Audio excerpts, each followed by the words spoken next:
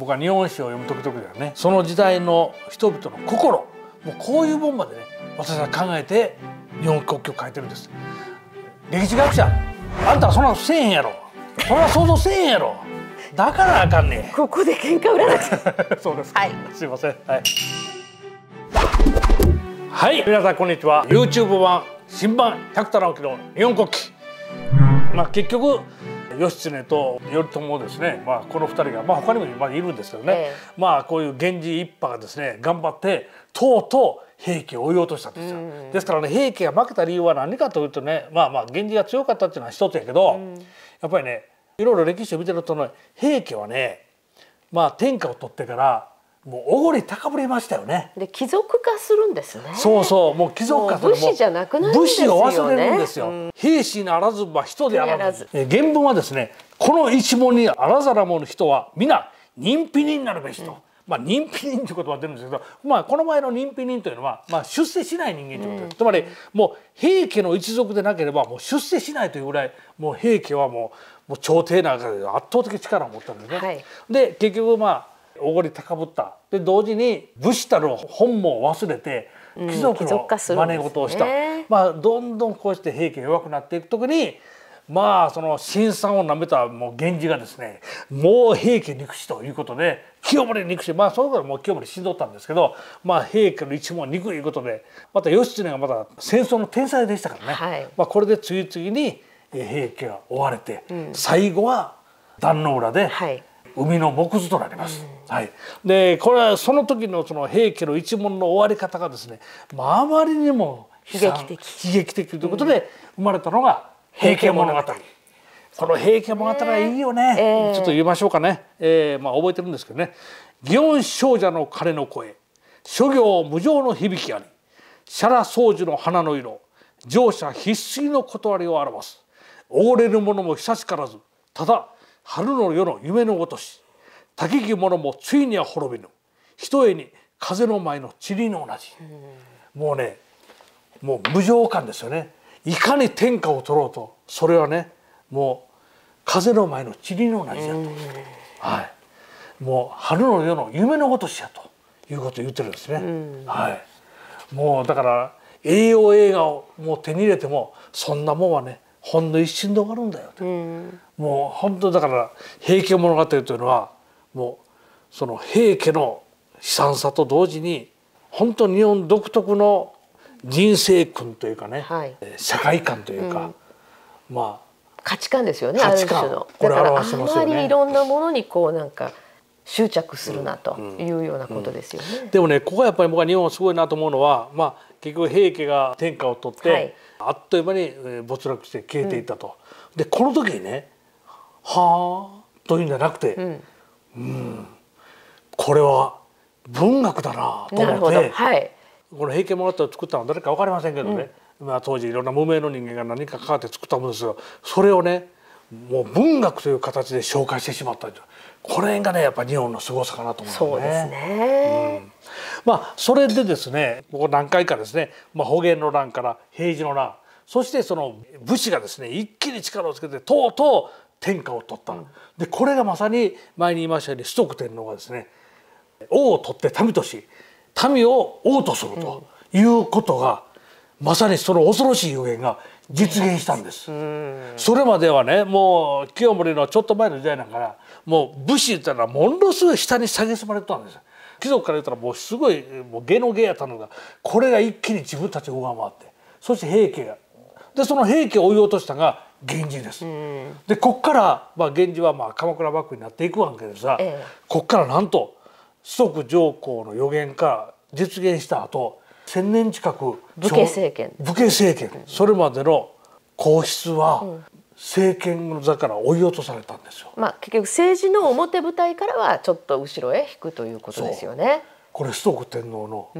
怨霊の予言の通り。予言の通り。これでもうガタガタガタガタっと震えたんですね。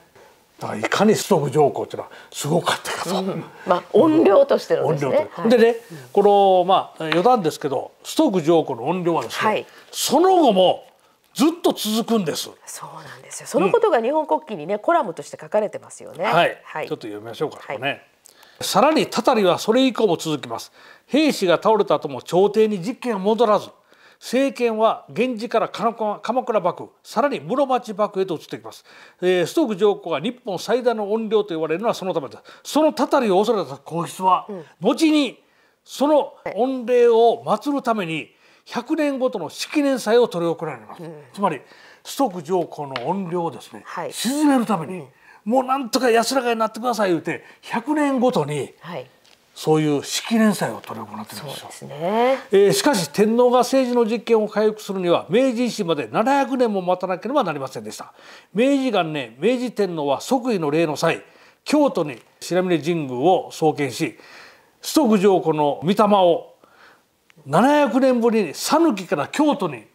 お帰りいただいて。帰還させ、はい、だからずっとね讃岐に流したままだから崇徳上皇のその御霊はずっと讃岐だったんです、うんうん、それを京都にお帰りいただいたと、はい、帰ってきてくださいと、えー、そこで怨霊との和解を分かりました、ね、こういうのはすごいですよね。これ明治元年つまり1868年、えー、この時にね、うん、もう700年前に亡くなった崇徳天皇の御霊をわざわざ京都の白峰神宮にそこにお帰りいただいてるわけですよ。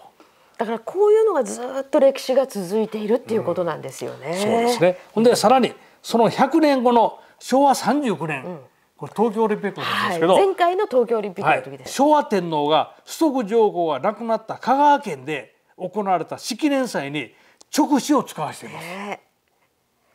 ー、すごいでしょ。つまりこのオリンピックを無事に挙行できるようにと。うん、それとあのあの時はあの東海道新幹線が初めて通る。あの、え世界で初めて時速200キロ以上で走る高速鉄道が世界で初めて通ったんですよ、えー、これ日本奇跡ですよ、えーはい、やっぱそういうね、うん、このこれ事故起こったら大変ですから、やっぱそういう思いもね昭和天皇あって、ここで100年分の式年祭にわざわざ直視を使わせてるわけですね。ですからねこうしてみたら、まあ、先ほど有本さんおっしゃいましたように歴史というのはね、うん、もうずっとつながってるんですね。まあ、日本の場合はね、うん、はい、うん、そして同時に崇徳上皇がいかに恐れられてたかいうのが分かりますよね。そうですね。怨霊として本当に恐ろしい存在だったっていうことですよね。うんうん、だからこれがね、だから明治になって、うん、あるいは昭和の39年になってもそうですから、だからこれがもう江戸時代とか、うん、えー、室町時代とかね、どんだけ恐れられたかですよ。ね。だからちょっとそのオカルト的な話じゃなくて、うん、まあ現代文明ですね、うん、の中にあってもこの音量を鎮めるっていうことが非常に重要なことだとして受け継がれてきてるってことなんですよね。ですからね、えー、これ伊沢元子さんなんかも言ってますけど、やっぱり日本史を見る場合にこのえー、当時の人々の気持ちつまり怨霊を恐れる、うん、つまりだから、まあ、伊沢元子さんは怨霊士官とも言われますけど、えー、やっぱりそういう視点を持って歴史を見ないと、うん、現代人だけの目で見たらおかしくなりますよね。確かにね、うん、ただ今でも日本人って縁起が悪いとかね、うんうん、言うじゃないですか、たたりなんてことも、まあ言葉の中で言いますよね。でも罰が当たるとか言いますけどね、えー、たたるとかあるいは罰があるようなことはみんなやりたくないですよね。やりたくないですよ。だから私なんかでもね厄年って言ったらお祓いしてもらったりとか。そういうことをやっぱりしますからね、うんうん、こういうそのずっとつ、まあ、ずっとそのそういった受け継いできた気持ちっていうのも大事にしないといけないなと思います。そうなあのね実はね私福沢諭吉さん大好きなんですけど、はい、福沢諭吉さんには実はこういう話があるんですよ、うん、エピソードがあってね。みんな、えー、神社に、ね、お守りとかありますね、えーはい、お守りなんか勝手に開けたらあかんと言います、うん、でところがですね福沢諭吉がまだ幼い頃だと思うんですが「お守りってなんやねん」と、うん、開けてみたら「なんやこれ？字書いてるだけねんけどね、こんなもんがほんまに力あんのか言ってわざわざそのお守りをですね地面に置いて足で踏んだって話なんですよ。まあだからこれはね、まあ、福沢諭吉がいかに合理主義であったか、うんうん、当時江戸から明治になって、はい、まあ、科学文明となって、えー、でそれまでのそういうもう古い宗教的なもう恐れとかそんなもんとかね、うん、そんなもんはなくなるんだよと福沢諭吉の非常にもう解明的な科学的な、うん、あるいは合理的な精神を表しとるというエピソードによく出てくるんですけどもで、ね,、もある人がこの面白いこと言ってましたね。しかしそれは本当にそんな精神でいいのかと、つまりねただの字やないかと、じゃあ紙に字が書いてあるだけ。じゃあただの字やないかと思ってる福沢諭吉さんもしそれがあなたのお母さんの写真やったらあなた踏めますかと。確かにね、うん、これただの写真やこれ印画紙というて水銀に観光してるそれで出てるだけの観光紙ですわって。魂も何もないですよって。だから踏めますか言ったら踏めないと思うん、それは。うんただの観光地です。ただの因果地です。でもねそこには魂も何もない。でもねそれは踏めないっていうのは日本人ですよ、うん、ですからね福田幸さんごめんなさい福田幸さん大好きなんですよ。すごい尊敬してるんですがお守りをガー踏んづけてね「ねえバチも何も当たらん。こんなもんはもう迷信やな」というのはね僕はやっぱ違うなと思うんですよ。うん、うん。まあ、福沢諭吉は特にねそういうその飲酒的なもの、うん、あるいは非科学的なことをこう嫌ったということなんでしょうけれども、まあ、それも福沢の若い時のエピソードですよね。ね。えーうん、はい、うん、僕は日本史を読む時々ではねその時代の人々の心もうこういうもんまでね私は考えて日本国旗を書いてるんです。歴史学者あんたはそんなせえへんやろ。そんな想像せえへんやろ。だからあかんねここで喧嘩売らなくて。そうですはい、すいません。はい。まあいよいよこれで平和は終わって次はいよいよ本格的な武家政権鎌倉時代です。これはすごいよ。それでは皆さん、えー、面白いなと思ったら YouTube チャンネル登録よろしくお願いいたします。